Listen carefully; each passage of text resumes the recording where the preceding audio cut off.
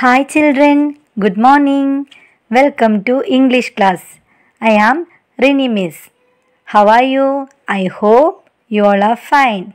In the previous classes, we have learned to write the capital letters A, B and C. Today, we are going to learn how to write the capital letter D.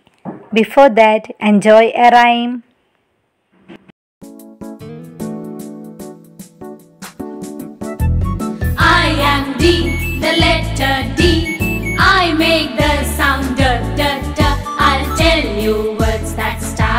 D.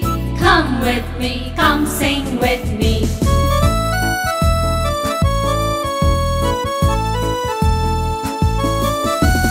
D for dog, D for doll, D for donkey, D for drum, D for door, D for duck. These are some words that start with D. Did you enjoy the rhyme, children? Okay, now let us learn how to write capital letter D. This is capital letter D. First draw a standing line.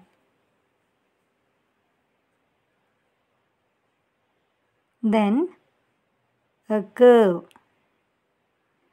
Then we get capital letter D. You have to color here. Let us start to write.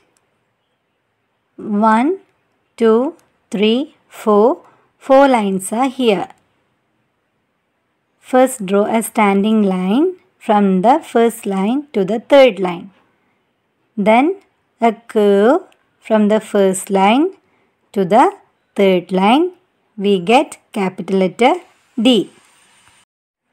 A standing line from the first line to the third line. Then a curve from the first line to the third line. We get capital letter D. Which letter is this children? Capital letter D.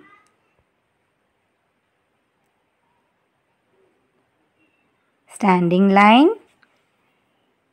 a curve. Standing line, then a curve, we get capital letter D. While writing, you have to say the letter also. Okay children? Which letter is this? Capital letter D. Capital letter D. Standing line, then a curve.